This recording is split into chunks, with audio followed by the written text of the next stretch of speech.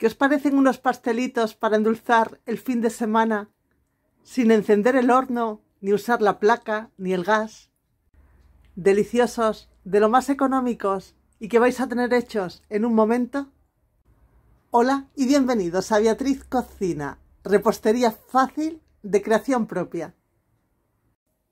Para simplificar la receta y evitar el horno, voy a recurrir a este tipo de magdalenas alargadas. Son las valencianas que vais a encontrar fácilmente en los supermercados.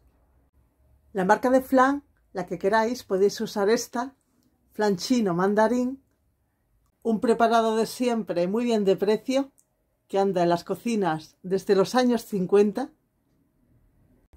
también podréis usar el típico flan royal que vais a encontrar en muchos sitios.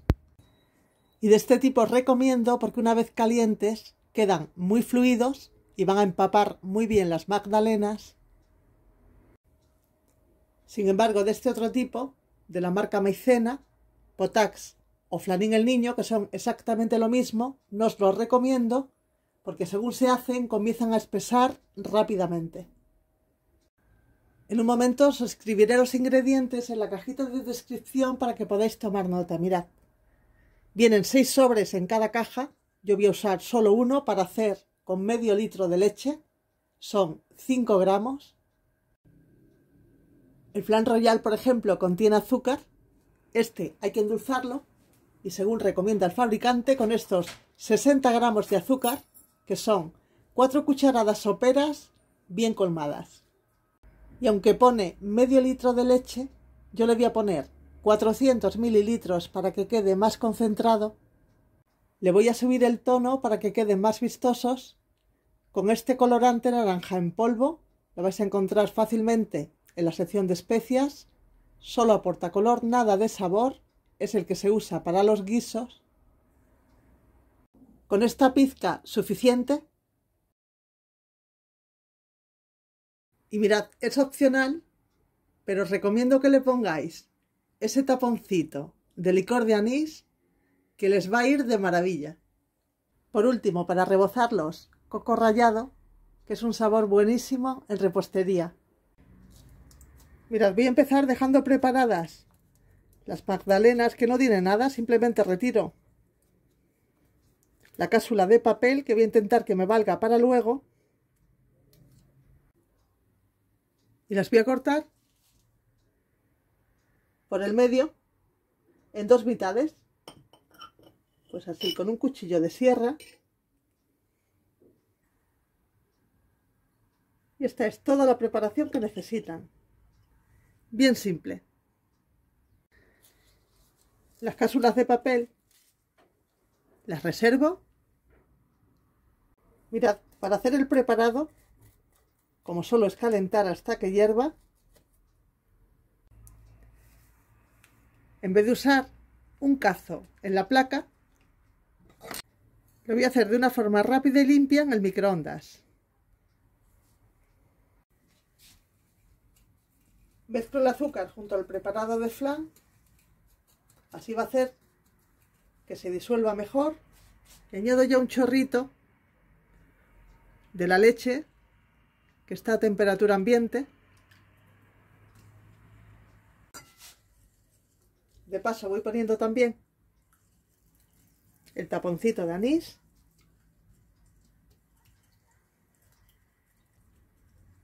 Y en nada, que quede bien mezclado, sin grumos, añado ya el resto de la leche.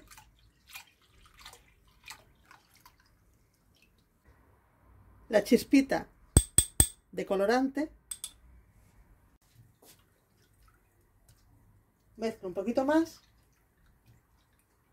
Y al microondas, si fuera en un cazo al fuego, removiendo hasta que hierva.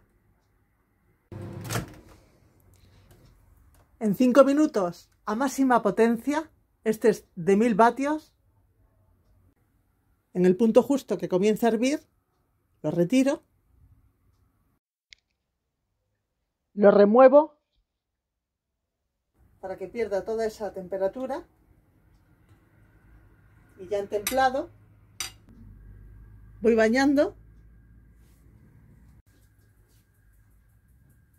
las mitades de magdalenas, así, que empapen bien.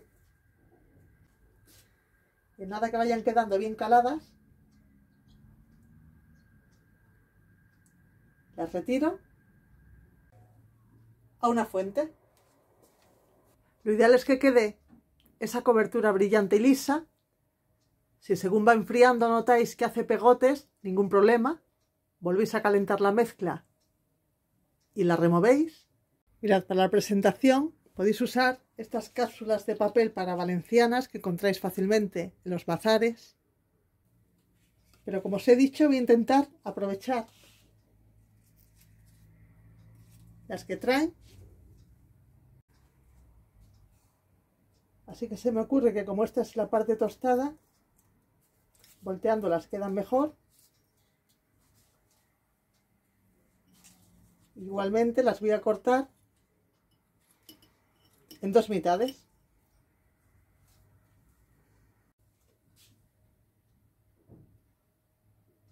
Voy colocando los pastelitos así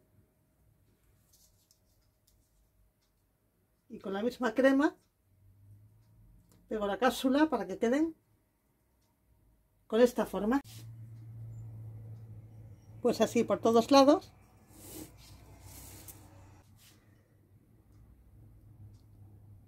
Y de esta manera son además más cómodos de comer. Para el acabado espolvoreados con el coco pues así por todas las caras.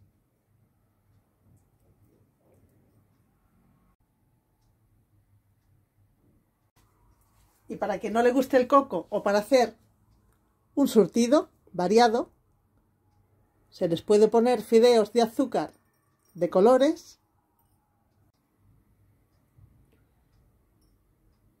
O de chocolate negro o con leche, como estos, para todos los gustos. Podéis dejarme en comentarios qué acabado preferís fideos de chocolate, de azúcar o coco. Aquí os dejo este surtido de mis pastelitos para endulzar el fin de semana. Sin horno ni falta que les hace porque quedan buenísimos. Con el toque de anís y el acabado de azúcar, coco o chocolate. Si os han gustado, os agradezco un like y un comentario. Muchísimas gracias de corazón por estar aquí y buen fin de semana.